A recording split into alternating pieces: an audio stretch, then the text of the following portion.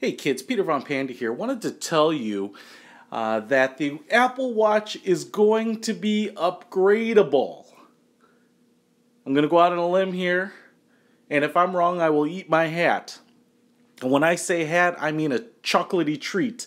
Uh, the Apple Watch, as you know, is not out yet. Uh, they will be in consumers' hands on April 24th, and Apple has been mum about uh, whether the Apple Watch is upgradable. But I want to show you three things here, three points that I think uh, conclusively determine that the Apple Watch is going to be upgraded. So, first of all, uh, there is a required core design to the Apple Watch that you really can't deviate from as long as you want to keep the features. So uh, the big one is the heartbeat and biometric sensor in the middle. So you want that to be pressed uh, right on the wrist. You need a kind of a, a flush. Um, uh, uninhibited uh, contact with the skin. You'll notice that uh, that that that center ceramic uh, backing is raised to make sure that the case itself doesn't uh, keep the uh, the the the sensors uh, above the skin or out of contact. Um, you know, and that's going to be central. The the the equipment and the hardware and all the components sit on top of it. So it's basically kind of like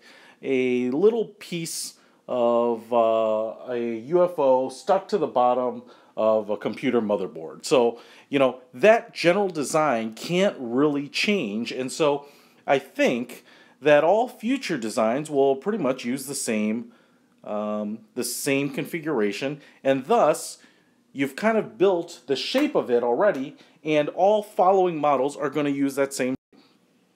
Secondly, there's also some case limitations because of the control pieces on it. So the crown and the home button, you know, as I was thinking about this, why didn't they make a round face? Well, one of the problems is that on a round watch, the crown is right in the middle, kind of at that uh, equator line. But then if you need another button, you'd either have to put it above or below, kind of like a, a pusher for a complication, and that's not very elegant, and it changes the angle you're pushing. And in most watches, you don't use them that often, but in this case, it puts both of them uh, kind of in that same vertical line, and you're not going to really change that. I don't think there's going to be any uh, changes to the overall shape of the watch because you can't change the location of those control elements without uh, going to a completely different watch or supporting a completely different type of, of design.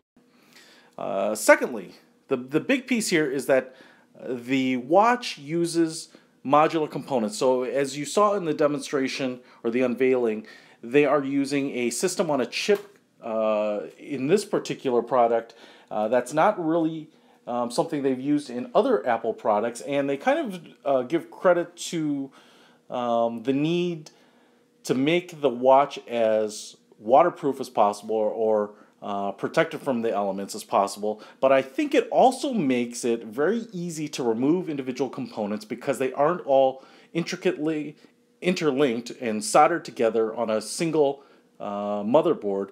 This allows for you to remove basically the weakest part of the um, the system, which would be the processor, uh, without having to remove potentially the battery or the taptic sensor uh, or the um, the biometric sensors or any of that. So I think this is the key that it's going to be upgradable because of the the modularity of the components.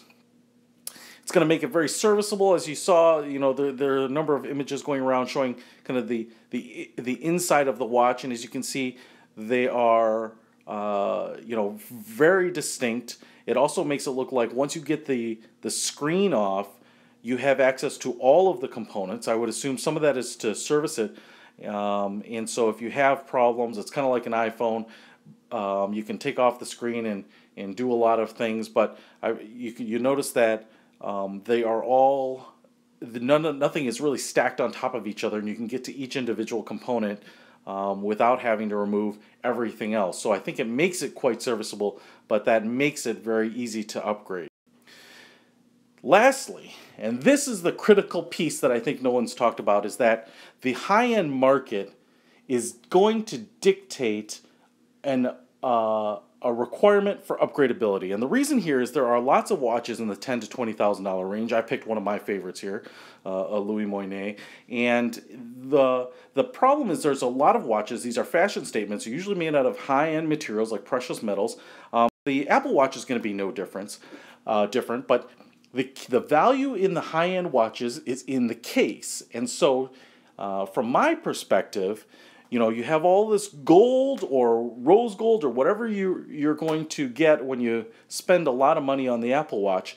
Uh, but you, but for that price, you can't be expected to have a device that is going to be obsolete in a year, or and it's not going to, and it can't be obsolete uh, when the next generation comes out, even if it's two or three years down the road.